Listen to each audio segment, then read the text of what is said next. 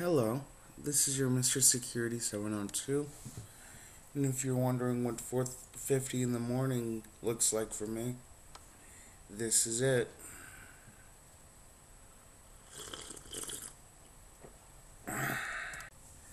So, I have some good news for all of you on YouTube. I got my degree. That's right, I'm officially a chemist. So when I do all of these spiels, I actually know what I'm talking about. I am starting a chemistry blog for those of you looking to learn more in detail about chemistry than what I am providing here. Uh, also, about procedures in chemistry, good ideas, bad ideas in chemistry,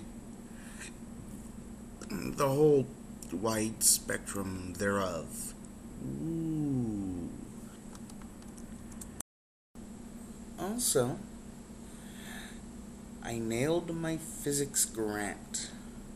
If you want to see a video of it, reference my last video, or I'm going to put the link in Dealing McBob. Yeah, I'll put a link in the Dealing McBob. Yep, yep. Okay, I'm pretty sure you guys are tired of messy hair and darkness and yada yada yada, so movie magic. Movie magic. Ooh, I like this one. This is what 1.30 p.m. at the college library looks like. And I kind of like it. You know, I could use it for videos. You know, with the, the black, the whiteboard and all. With the, ooh, I like it. Let's See what that looks like? Ooh, I could use that for these videos. Nice. Doo-doo-doo. With all of that in mind, today I'm going to talk about this, and this, and this, and this. The periodic table. I also have five separate periodic tables on my computer. And First question in mind, of course, would be why so many? The answer to that is quite simple, really. Different periodic tables have different sets of information on them. Like, for instance, uh, this one has enthalpy of vaporiz vaporization and enthalpy of fusion on it.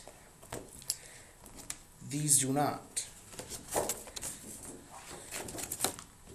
This one has uh, electronegativities and oxidation states, which the others do not.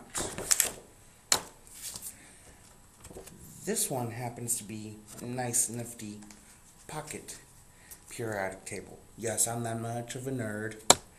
Deal with it. And this one has natural uh, percentages of natural isotopes on it. All of which is useful to me. So, why does the periodic table exist? What is it for? Other than, you know, to eat our souls. You may have noticed a particular structure to this thing. Two long columns, followed by a bunch of short columns, followed by a few more long columns. Now, with this thing. Uh, these short uh, these short columns are pretty much very different in predictive power than these long columns. And you may have noticed these uh, two rows of uh, separated out elements. And those have very different predict, uh, predictive uh, powers than the rest of the table. Now, one constant source of predictive power is the further this way you go in the table, the further this way, the higher the mass of the element. The further down you go, the higher the mass. Another source of predictive power comes from the longer columns. Particular, uh, particularly these uh, these two columns over here, and these one, two, three, four, five, six columns. And this predictive occurrence is in oxidation state. This column right here, the first one, has a plus one oxidation state, plus two, plus three, plus or minus four, minus three, minus two, minus one, and zero. Now what that means is, well, first of all, since this last row has an oxidation state of zero, it doesn't react. Well, with one exceedingly epically rare exception of xenon here, but yeah, you would have to get that to like uh, minus 250 degrees Celsius or below and high pressure to get it to react. So, extreme case. But with everything else, the oxidation state's protected uh, give a prediction on how it's going to react. For example, uh, hydrogen over here is plus 1. Uh, chlorine over here is minus 1. We can predict what will happen if we combine them. Uh, hydrogen is plus 1 chlorine is minus 1. Since opposite charges attract each other, we can see pretty readily because of these opposite charges right here, uh, they're going to attract one another. Opposite charges attract. And what we do when we predict what will be formed is take this number right here for the uh, hydrogen, we ignore the sign and we put it over here as a subscript. We take the chlorine here, the oxidation state there, ignore the sign and bring it over here to the subscript here. And we yield H1 Cl1 or simply HCl. For another example, one that we deal with just about every day, comes from the, the same plus one, hydrogen plus one, and oxygen, which happens to be in the minus one, or minus two. Uh, since opposites do attract, uh, switch up markers. These two do attract each other. Take this, bring it over here. Take this, bring it over here to get H2O, which is something we deal with every day, or at least hopefully. Hopefully, every day you take a shower with water. Hopefully, every day you drink water. Hopefully, every day you brush your teeth, rinsing the toothbrush out under running water. So yeah, predictive power of oxidation states on the table leading to predictive power of chemical reactions. There are other predictive properties to this thing.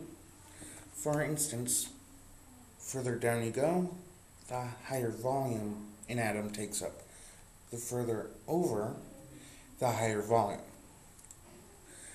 The further up you go, the higher the electronegativity. The further over, the higher electronegativity. Um, let's see. The further down, the higher chance it has to be radioactive. The further over, the higher chance it has of having higher radioactivity. So these are just a few of a vast many uh, predictive powers that this thing has. And over the course of the next few months, I'm gonna go over a lot of them. Probably not all of them. Well, most likely not all of them, because there are a lot. Yeah. But I will go over some. I can hear the cat calls of, so what? You can predict stuff, so what? Right about now. Well, here's the thing. In order to invent stuff, you have to make predictions on whether or not it's going to serve the purpose you have in mind. For instance, this water bottle. You're going to have to make predictions on what materials will best serve the function of holding water to drink. Uh, huge wooden bucket's not going to work because, well, it's kind of awkward to actually drink from. Um, as far as the materials are concerned, you're not going to make this out of a sponge because, well, sponges absorb water and it's going to drip and you wouldn't drink from a sponge anyway because that's just gross. You're not going to make this out of table salt because, well, what happens to salt when you add water to it? It dissolves. So, try to use this once for water, you don't no longer have a bottle.